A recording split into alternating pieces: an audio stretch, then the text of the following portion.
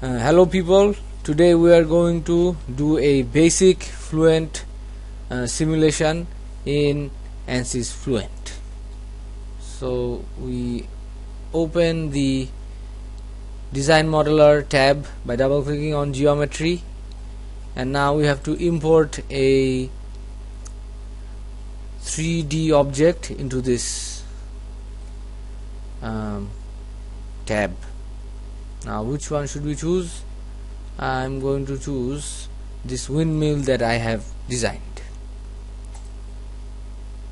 So you right click on import and then you click generate. And it takes some time. Always look to the bottom left corner of your screen to check the progress. And keep waiting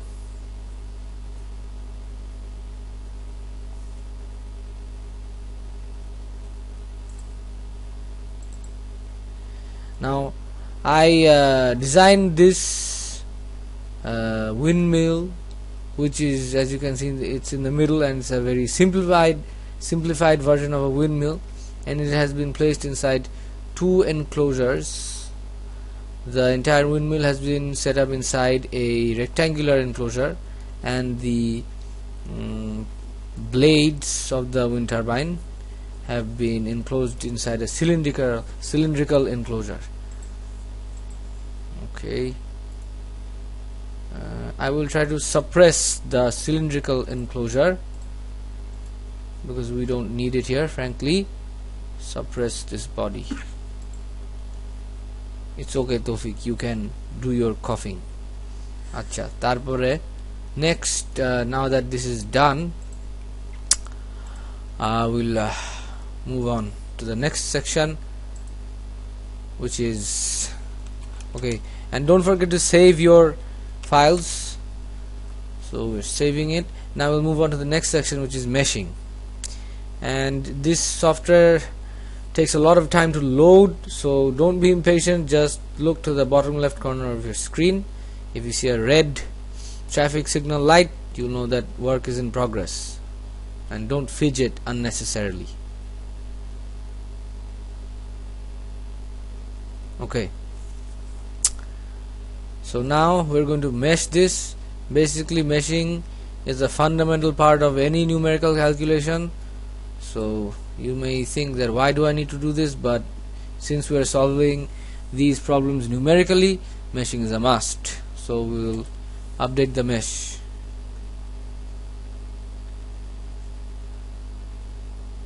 So you just right click on mesh and then you choose generate uh, or, or you can choose update. Okay now that the meshing is done we will choose uh, certain planes and assign certain names to them uh, for our convenience later on. So, so, this will be our inlet. So we create a name selection by right clicking okay? So this is the inlet and this is going to be the outlet we select it right by right clicking and then create name selection. And we call this outlet.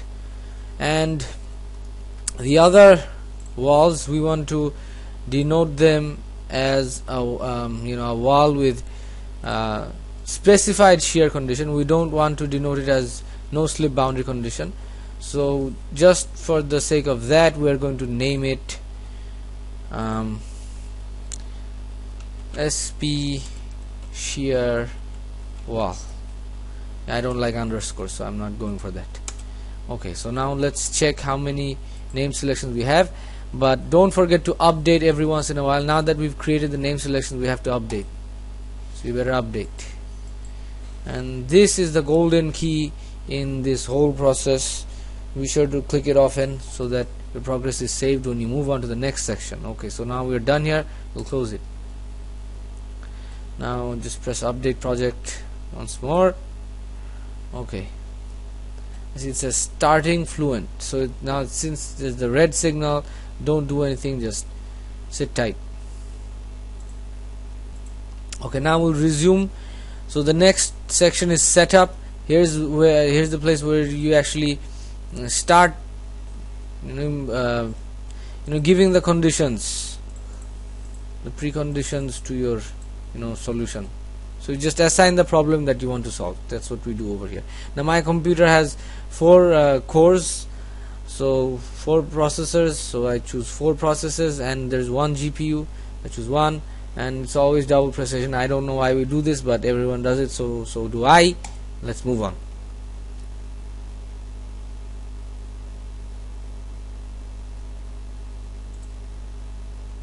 Okay now that you've clicked setup it will give you a window like this. Make sure you have all these options right here. If all these options are not available here that means you've uh, committed some sort of error or done some sort of mistake in the meshing section. So this is going to be a uh, steady state uh, problem. We don't want transient solutions. Don't have time to explain why but just uh, you know this we're just getting started with it so just roll along uh, nothing to change here nothing to change here. We want to simulate airflow so nothing to change here.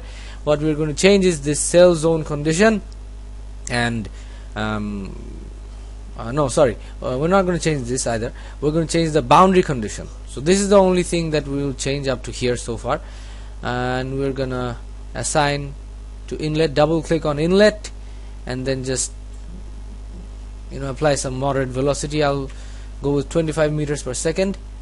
We don't want any hurricane conditions so normal wind flow. And um, actually 25 meters per second is not that low of speed either. Uh, we don't need to do anything over here in the outlet but what we need to do is uh, uh, yeah specified shear wall. Double click on this. Here you see they they've assigned the no slip condition but we don't want that. We want the specified shear condition. Don't need to tamper around with this move on. Okay. Next we'll go to the solution methods. Nothing to change here either. You can play around with this but that's for later on. We're just getting started.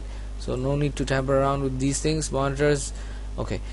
So nothing from dynamic mesh to monitors the next option that we'll touch is solution initialization. As a rule of thumb when you are uh, doing a steady state solution use standard initialization instead of hybrid. So since we chose steady we're going to choose standard initialization.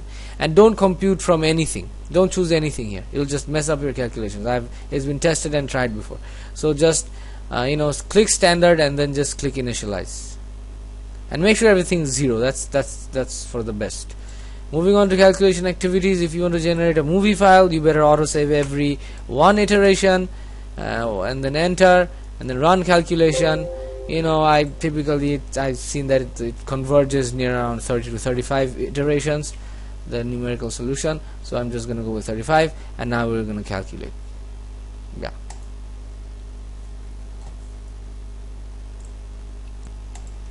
okay so now our calculation is complete. We will mo move on to post-processing the data. As you can see like the errors uh, come down and down number of iterations. I could have gone a couple more but you know who cares? Let's just move on. So 35 iterations as you can see right there. Okay now let's just go to results. Don't go to solution skip this step and just go to results and as you can see starting CFD post. Don't get annoyed don't start fidgeting. If it takes a long time just wait for the green light. Okay so when um, the results section is activated you will see a window like this. And it's kind of hard to navigate around you know to get the right view. So just right click here click predefined camera and um, I'll go with view from positive X okay I'll go with view from negative x because I want my inlet to be over here. View from negative x. Okay. Now if you want to see uh, so the easiest form of visualization would be creating a streamline. So I click this one and then I'd like to start the flow from the inlet. So I choose the inlet and then equally yeah and I'd like to have a high number of points. I'd like to have a thousand points and yes variable is velocity. The computer got it right. Don't need to tamper around with it. Yeah okay so we'll just generate it. And see now you can't make anything out of it but if you rotate it slightly there you go. It's pretty soothing. Now we'll just do away with the streamlines and create an animation where the molecules of air or say the particles of air will be visualized by little balls so we click on symbol and then we disable show streams. And we apply. See they're gone. But do not be afraid.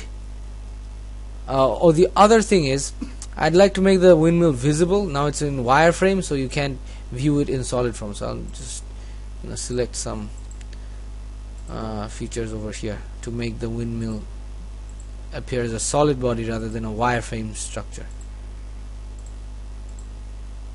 mm, okay yeah that's good enough. Okay yeah. So now we're going to visualize the flow with little balls.